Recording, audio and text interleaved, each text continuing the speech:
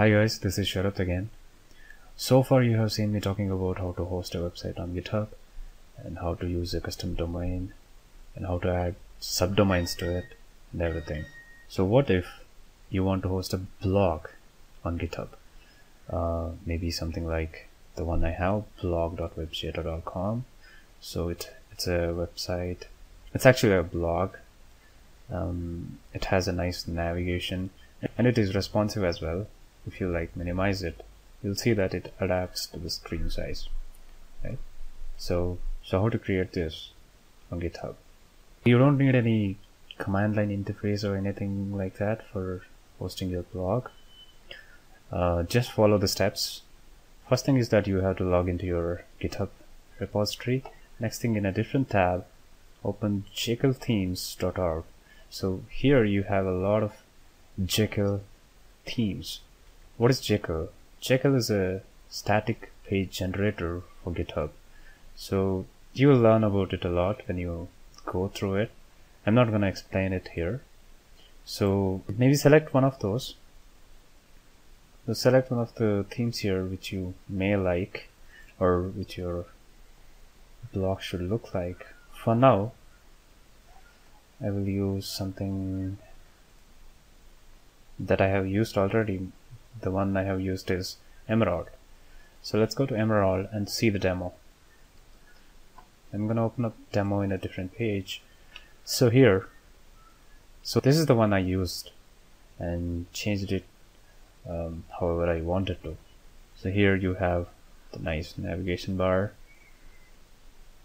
and everything looks good. So how to get this? So first thing is you can search Emerald by its name in the search tab here. Or if they have provided a link like this project on github you can go to that as well. For now I'm gonna search here as emerald.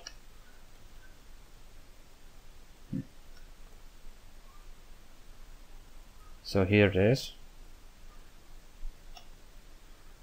So the first link says a minimal and mobile first block theme for Jekyll so this is the one. Um, let's see what files it has. These are the files the blog is using actually. So here what if you want the same files on your repository? All you have to do is fork it. So here on the right right hand corner you see that on the top corner actually you see fork button. Just click on it and wait for a while. What fork will do is it will copy the whole thing to your repository. So if you see the path here, it's red gadget slash emerald. So it has copied to your repository.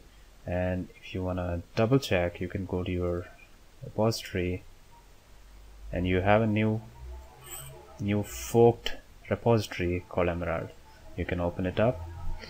Uh, you don't have to do any you don't have to do much changes here. If it has a CNAME you just have to remove it. Otherwise everything is fine. So what you have to do is you have to if you want to host it as a project you may have to change it to gh pages and see mm -hmm.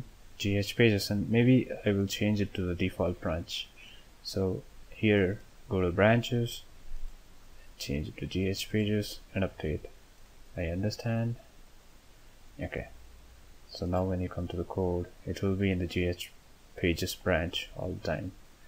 And let's see it has hosted. Go to the settings and see where it has hosted it. Okay. Let's go to the link. Okay now for now it is not. Maybe I have to wait for a while.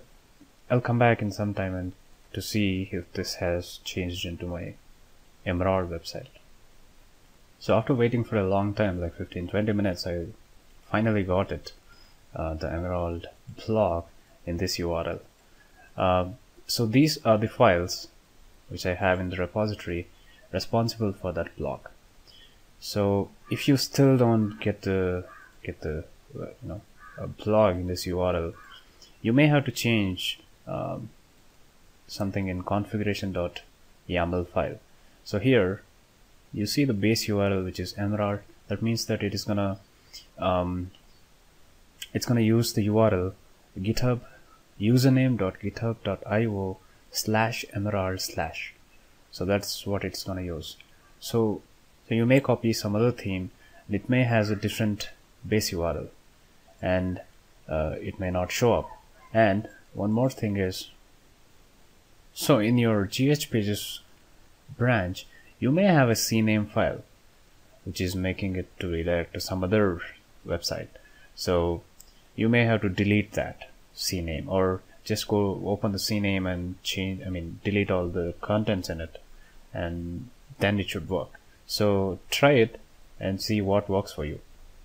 And one more thing is you can change um, anything you want to make it more personal. So you see that you have the color green here um, you can change it to some other color you can change the logo and everything here so that you can make it more personal like I did in WebJeda. So I'll quickly show you one thing I can really change. So there is this green color everywhere, right? So this is the theme color which it is using. So the navigation bar, the typography, and even the navigation, even the footer using the same color.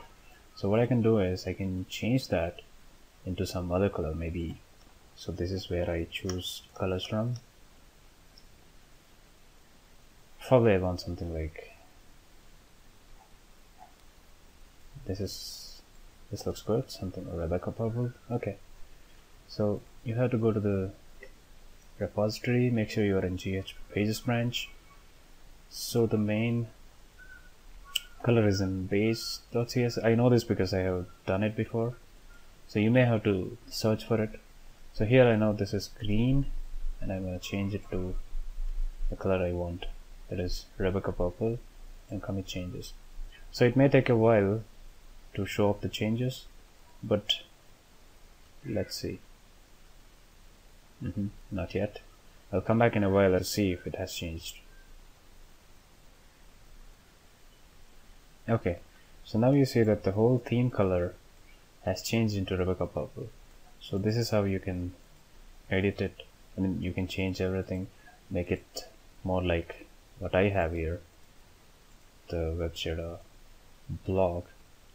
So this is how you create a blog on github. So if you find my video was helpful hit thumbs up and subscribe. I'll be doing a lot more videos like this. See you soon. Bye bye